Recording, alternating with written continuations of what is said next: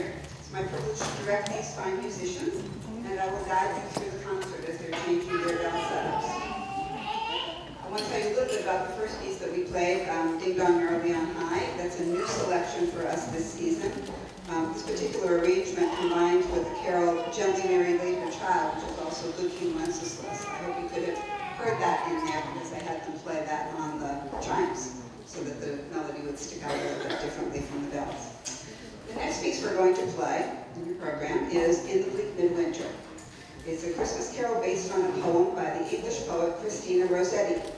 It was first published in 1872 under the title A Christmas Carol. In 1906, it appeared in the English hymnal set to the beautiful hymn tune Cranham by Gustav Holst. This is one of my favorite Christmas carols, and not heard very much. Brenda Austin, a relatively new handbell composer, has set the hymn tune beautifully using both hand chimes and handbells to illuminate the haunting nature of this melody. As a handbell composition, it's relatively short, it's only 47 measures. But with this selection, we began to set the scene for the first Christmas and the birth of a little baby.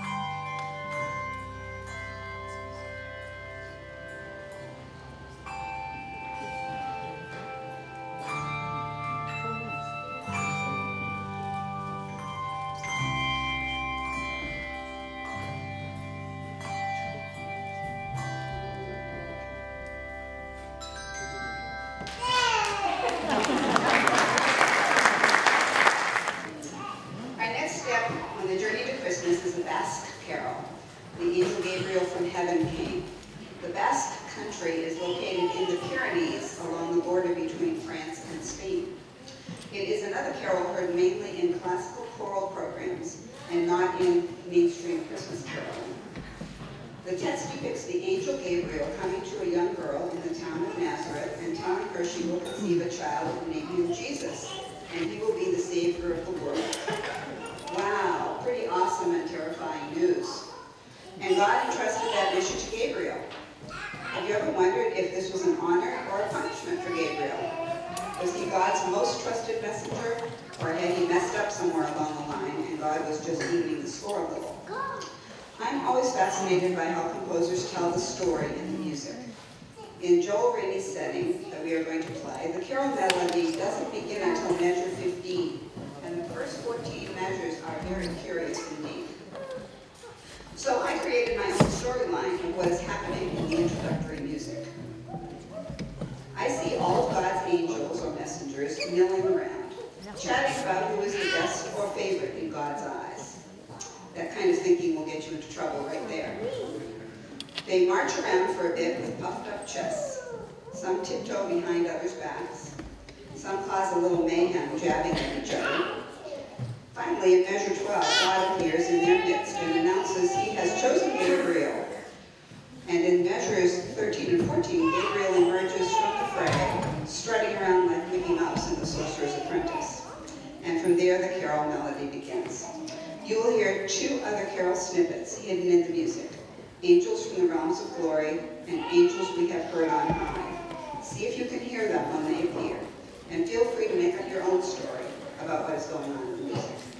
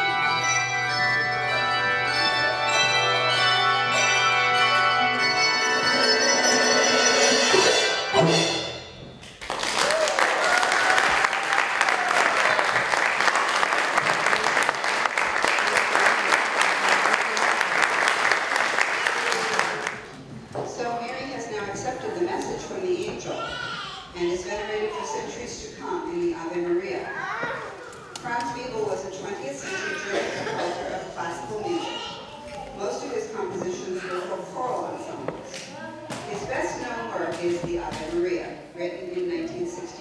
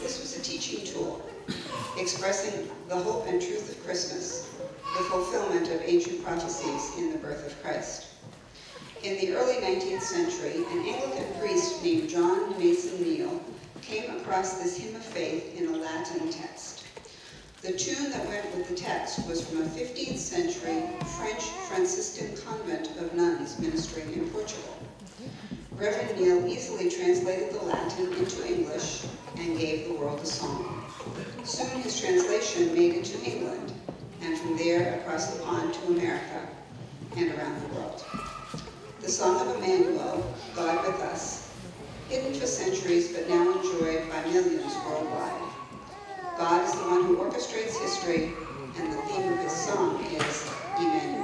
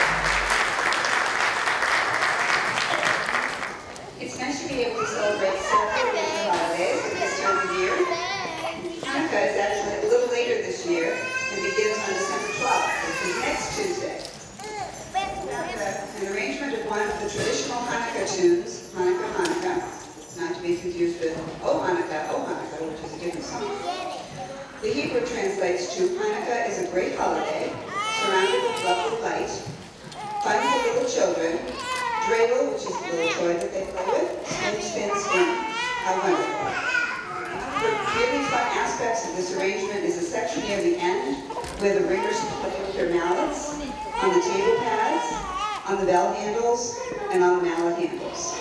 Not on the bells at that particular point. Not your typical handbell piece. Enjoy.